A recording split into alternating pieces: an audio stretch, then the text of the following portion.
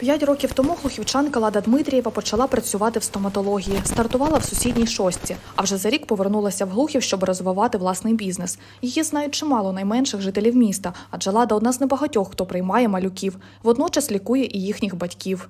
Вони почали водити тих дітей, яких возили в шостку сюди, і такі опа, знайоме лице. Ось, і потім якся закрутили, що спочатку діти, а потім ой, а ви ж дорослих також лікуєте. Ну і так, і потім там і батьки, і дідусі, бабусі, в общем, всіми з сім'ями ходили. Ну, стоматологія, вона ж розвивається. Ну як, починали просто діти та дорослі, а потім там видаляти, і плани були іще там великі, але це все зупинилося на тому, що забрали речі і поїхали. Рішення виїхати Лада прийняла згодом після другого прильоту російської авіабомби неподалік її роботи. Хоча вже перший випадок дався в знаки. 27 липня РФ атакувала глухів із градів. Тоді загинуло двоє людей. Один із них неподалік місця, де стоматологиня саме вела прийом. У кабінеті була ще одна лікарка. У кріслі сидів пацієнт, а поряд його син, коли пролунав вибух. І по камерам просто видно, що беру дитину, побіжали, і потім тільки батько ж з крісла ну, підіймається і біжить за нами. І зупинились ми взагалі на тому, що другому поверсі, просто там, де не було скляних взагалі поверхень між стінами, бо там же кабінет ну, повністю з цих вікон, так сказати. Ось і Потім, вже як щось там прийшло е, осознання, то побігли вже до підвалу. Звідти лікарка хотіла подзвонити рідним, але свій телефон забула в кабінеті. Лада насамперед рятувала дитину, а про мобільний навіть і не думала. А коли взяла чужий, то зрозуміла, що від пережитого стресу не пам'ятає номери близьких. Я ще пам'ятаю ту дитину, напевно, ніколи не забуду. Побігла, взяла сок. Ну що мені перше прийшло до на думку сок і шоколадку. Несу цьому малому, я якось так даю. а Він так перелякався кажу, Боже. Ще чоловік, ну цей, що був з дитиною, вже там пересиділи, все, підіймаємось на другий етаж, що кабінет, і він забігає, я вам щось винен. Я думаю, ти що, серйозно? Не типу, ні, ви що?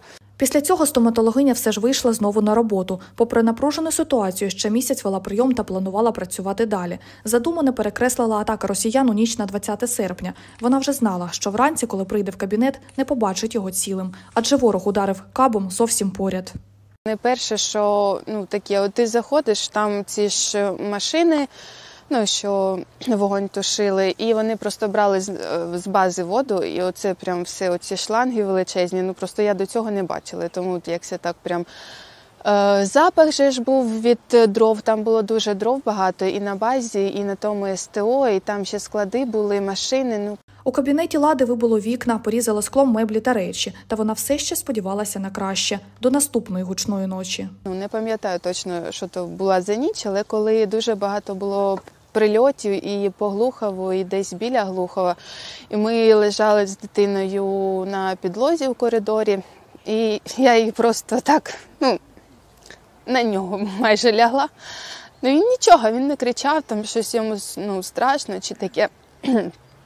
Але коли воно прилітало, чи мимо нас, я не знаю. Ну там просто хата отак от трусилася, і було страшно, що якщо хоч завалиться, хоч на мене, а не на дитину. Ось. І Ну, коли вже там все тихо було, то я ж стою, а малий весь так труситься і весь потний і гарячий. Ну, після того там питання не стояло. Чоловік сказав, їдемо, що зібрали, той з тими поїхав.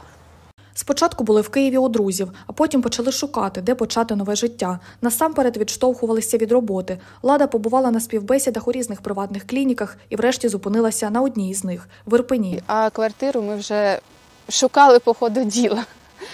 Ось. Ну, бо та квартира нам не підійшла, бо вона ну далеко від роботи, і там садочка, ну там приватний, по-моєму, є близько, ж садочки від 10 тисяч приватні, тому ну їх Ось, а садочком ВПО помогло нам ВПО. У новому місті каже лікарка складно насамперед фінансово, адже ціни на житло дорогі. А ще важко працювати на когось, маючи до цього власний бізнес. Однак варіант повернутися в глухі влада поки не розглядає, як би сильно туди не тягнуло. Бо не дай Бог, то ладно тобі ти там ну прилетить і прилетить. Але ну, якщо в тебе буде хтось на прийомі, ну я це ще раз такого не хочу. Бо ти тут, якщо в тебе хтось там сидить, ти думаєш більше не за себе, там, а просто щоб ну, твої ж пацієнти були живі. Ну, хоча б ладно, перелякані, ну тут уже ж нічого не зробиш, але живі.